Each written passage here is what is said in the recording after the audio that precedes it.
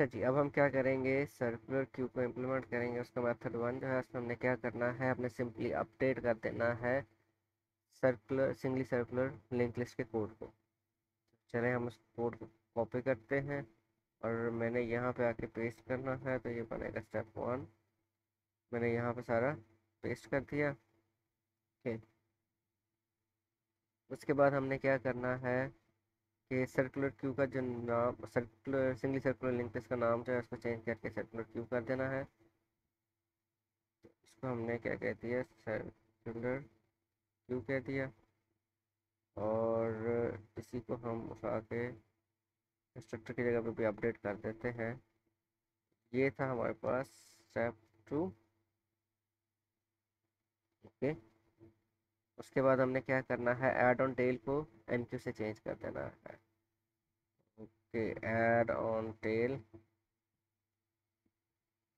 ये हमारे पास स्टेप थ्री और हमने इसको क्या कह दिया? एन क्यू कह दिया। ओके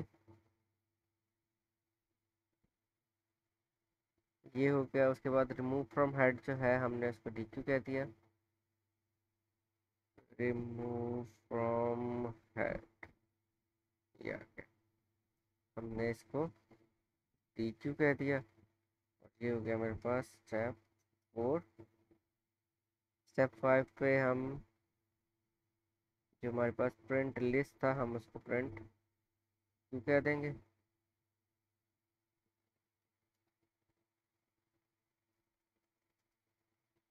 तो ये हो गया हमारे पास स्टेप फाइव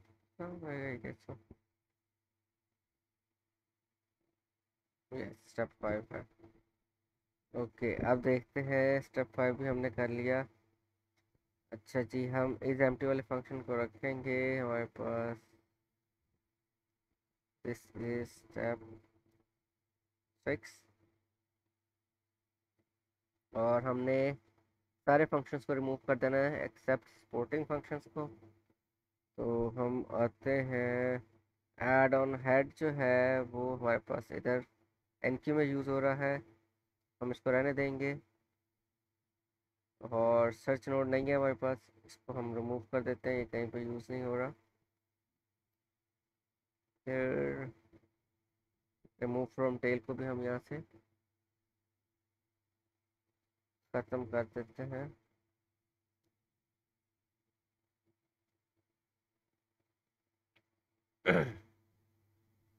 ओके जी, अब हम क्या करते हैं? यहाँ पे हमने सर्कुलर क्यू लिखा और हमने इसी के ही यहाँ पे ऑब्जेक्ट बना लिया। और हम पीछे circular Q dot enqueue किया हमने। और इस स्टेटमेंट को हम कॉपी कर लेते हैं।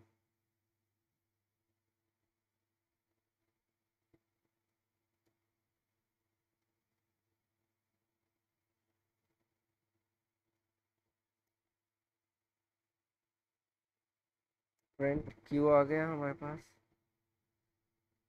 उसके बाद ये चीज़ें नहीं चाहिए हमें। और पीछे सर्कुलर क्यू रिमूव फ्रॉम हट नहीं है हमारे पास टी क्यू है, इसको भी कॉल करके देख लेते हैं। और यहाँ पे प्रिंट क्यू वाला फ़ंक्शन कॉल करते हैं किसके थ्रू इसके थ्रू इसकी ज़रूरत नहीं है। इसको हमने कॉपी किया और इधर आके मैंने पेस्ट किया, इसको मैं रन करके देख लेता हूँ। तो हमारे पास जो टॉप वाला फ्रंट वाला है, वो निकल गया और बाकी सारे क्यू में वैसे ही मौजूद है।